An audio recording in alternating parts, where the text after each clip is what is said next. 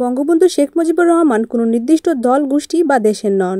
তিনি বিশ্বের একজন অভিসাংবাদিক নেতা বলে মন্তব্য করেছেন। ভোলা তিন আসনের সংসদ সদস্য নুরুন্নবী চৌধুরী শাওন। বৃহস্পতিবার সকালে লালমোহন উপজেলা প্রশাসনের আয়োজনে উপজেলা অডিটোরিয়ামে জাতির পিতা বঙ্গবন্ধু শেখ মুজিবুর রহমানের একশো দুইতম জন্মবার্ষিকী ও জাতীয় শিশু দিবস উপলক্ষে সাংস্কৃতিক অনুষ্ঠানের প্রধান অতিথির বক্তব্যে এসব কথা বলেন তিনি। এমপি শাওন আরও বলেন, বঙ্গবন্ধুর আদর্শ অনুসরণ করেই বাংলাদেশ পৃথিবীতে শান্তির সংস্কৃতি সৃষ্টি করবে এবং পৃথিবীতে শান্তির প্রতিষ্ঠার নেতৃত্ব দিবে একদিন। বঙ্গবন্ধু কখনোই অন্যায়ের সঙ্গে আপোষ করেননি। গণতান্ত্রিক ও নিয়মতান্ত্রিক পন্থার বাইরে রাজনীতি করেননি। তার পুরো রাজনৈতিক জীবনে অপরিপক্ষ সিদ্ধান্ত নেননি। বাঙালিদের কোথায় যেতে হবে, কি করতে হবে, তার সব কিছুই তিনি সাতই মার্চের ভাষণে বলে দিয়েছেন।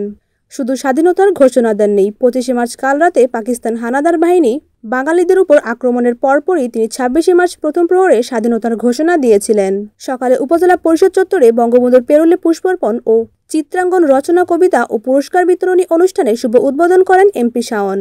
এ সময় উপস্থিত ছিলেন লালমোহন উপজেলা পরিষদের চেয়ারম্যান অধ্যক্ষ গিয়াসুদ্দিন আহমেদ, উপজেলা নির্বাহী কর্মকর্তা পল্লব কুমার হাজরা, উপজেলা আওয়ামী লীগের সাধারণ সম্পাদক ফকুল আলম হাওলাদার সহ অনেকেই। भोला प्रतिनिधि Mohammad Rana Islam N A N T